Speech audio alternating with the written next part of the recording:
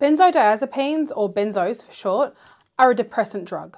They are a minor tranquilizer, usually prescribed by doctors to relieve stress and anxiety. They can also be used to help people sleep and are often used to help treat people with an alcohol dependence. As mentioned, they are also called benzos. They are known as other things such as tranks, bricks, xannies, moggies, and vals. Some of the effects can include drowsiness, sleepiness, confusion, depression, reduced stress, a calmness, nausea, a dry mouth. It can also lead to a decreased body temperature and slurred speech. Some harm minimization around benzodiazepines when used recreationally would be if it's bitter, it's a spitter.